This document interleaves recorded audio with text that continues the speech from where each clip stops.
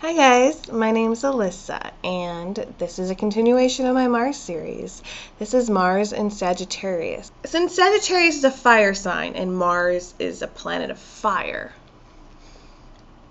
you'd think nothing would happen. You just throw Mars in Sagittarius and then walk away because it just diluted itself in fire.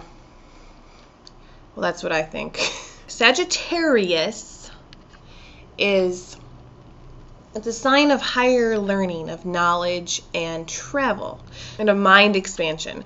So basically, if your Mars is in Sagittarius, where Mars is passion and anger and joy and happiness and sex and strong emotions, you'll find that the Mars and Sagittarius people get pretty passionate about things that they know biggest indicator of them is that they seem to be full of shit. They talk a lot, and you kind of are like, they will just start shooting off, spouting off information that they may or may not know. And they might have really heated arguments and they'll just be talking a lot and like, this is what's going on. And they don't have any information to back it up, but this is what they feel and what they know. And sometimes they're right. Sometimes they actually do have the proper knowledge behind what they're passionate about. Other times, they don't.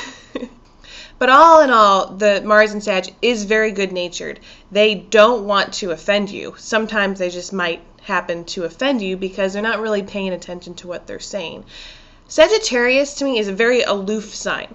And it's because it's not an, a personal sign. Sagittarians, the ninth house, all that, they don't necessarily want to stick close with people and give lots of hugs and kisses all the time. They're kind of always just looking out, you know? There's a big world out there and I want to see it and I want to be a part of it. And so if your Mars is there, that's kind of how they're having arguments. They're never really arguing with you. They're just arguing.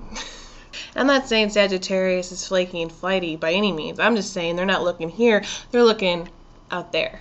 So maybe I should do this whole video by not looking at the camera because that's a Sagittarius trait.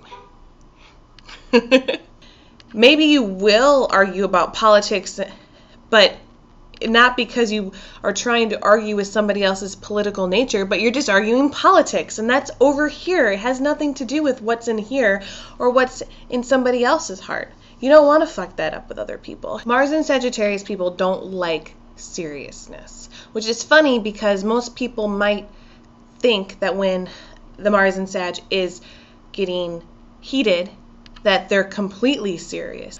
But ultimately, they're not. They, they want they actually run away from any serious nature. They don't want to deal with emotions and anger of other people. In a way, they seem a little bit bipolar or like they can dish it, but they can't take it. And it's not because that's actually their case. They're dishing it, not meaning to offend, not even directing it at a certain person. And you can't help it, as I've learned, and I don't have my Mars and Sag, but what I've learned from, say, making hate videos about a sign, which is totally not about a person, it's about a sign I didn't talk about anybody who watched the videos in particular. No, these were all people who don't watch my videos that I talked about.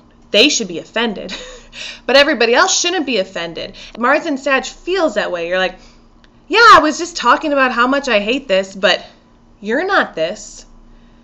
I'm stating something else and I'm passionate about it and I'm a little angry about it and I'm going crazy about it, but I'm still feeling lighthearted people on the outside looking into that sort of behavior get very confused by it when in reality the Mars and Sag is not dishing it to you so they don't understand why you are trying to critique them back. It can be a little bit of an upset in the relationship. Mars and Sag doesn't want to be serious. And so the Mars and Sag itself doesn't want to be serious in bed.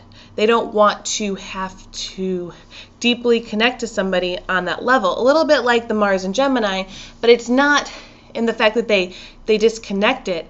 they can be very connected in bed, but they don't want to be. They would much rather have that be fun time and not have to experience some sort of spiritual connection there because it just can be too much. And I feel bad for those who have their Mars in Sag. And it's because I believe that you are mistakenly treated as shallow and flaky and flighty. And you're not. You have a lot of sense of knowledge and learning things. You just kind of get a little bit scared when things become too serious too quickly, and you do have feelings that get hurt because you're not paying attention to the way people are reacting to you before they start yelling at you.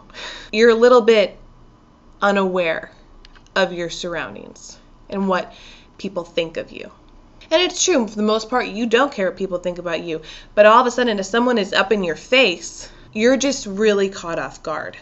You don't know how to handle it. You can lie, or you can become afraid, which I've seen Mars and Sages do, especially as children. Mars and Sages want to just kind of run their mouth all the time, and then they find out that when they do, it hurts people that people don't like that, that people have feelings because they're not totally connected to other people's feelings. The Mars and Sag native is not necessarily going to be paying attention to that all the time. And that's why things can kind of happen and they ruffle feathers when they don't necessarily mean to.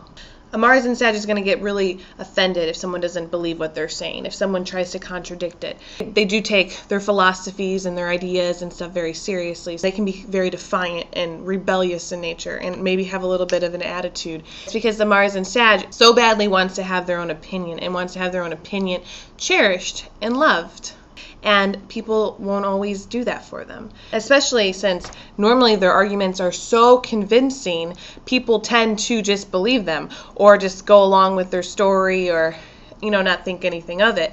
And so it's those people then that all of a sudden are just like, "No, that doesn't make any sense." And they're like, "What?" No one says that to me. You don't get to tell me that. You just need to be a little bit more self aware and a little bit more aware of other people's feelings and to know that sometimes when you're spouting off random things that you know t- to be true, not everybody has the same brain as you. Not everybody thinks the same things. Not everybody's going to take your word as fact. And so you really have to learn to be okay with disappointments. Anyway, that's your Mars and Sag.